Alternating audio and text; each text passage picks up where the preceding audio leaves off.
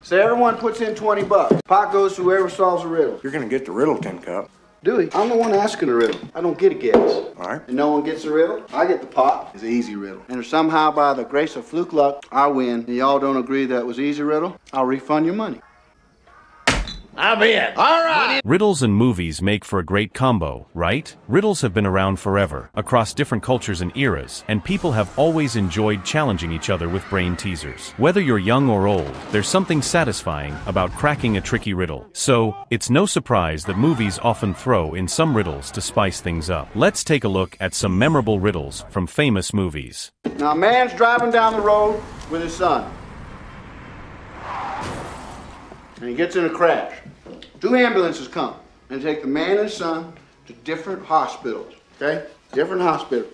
Son goes into the operating room. All right? The doctor looks at him and says, I can't operate on this boy. He's my son. Now, how is that possible? Hmm? How is that possible? Clock's ticking, fellas. Father's still over there at the hospital. I mean, he didn't sneak back in, right? This ain't Star Trek, girl. Nobody beamed him aboard. All right. What about if uh, father married the son's daughter? It's a family riddle. You gotta think clean thoughts. Give us a little hint. You want a hint, Clint? A little hint. The doctor's a woman. The doctor's a woman. See, the doctor's the son's mother. Meanwhile, we'll send in some more food. I got a question for you. You get it right, I'll give you more time. And You know what happens if you don't. Which weighs more? All the trains that pass through Grand Central Station in a year. Or the trees cut down to print all U.S. currency in circulation. Here's a hint. It's a trick question. playing games now? It's the trains. U.S. money isn't printed on paper at all. It's con- Yeah, that's, that's right. no trees were cut down. Are you sure? 100%. I got it. Wait a second, wait a second, wait a second. Call you back. Tell them they both weigh the same. They both weigh nothing. They both weigh nothing or they both weigh the same? Tell them they both weigh the same. Do it now. Well, They both weigh the same. this time send sandwiches.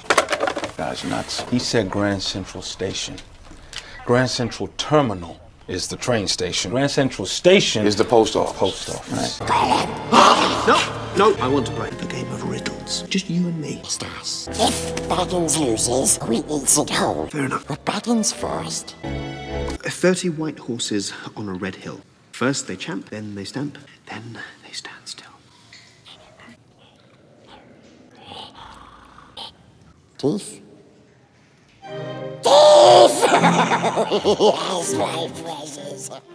I feel your every thought. I feel your every move. I know your every thought. I'm with you from birth, and I'll see you rot. What am I? A reflection.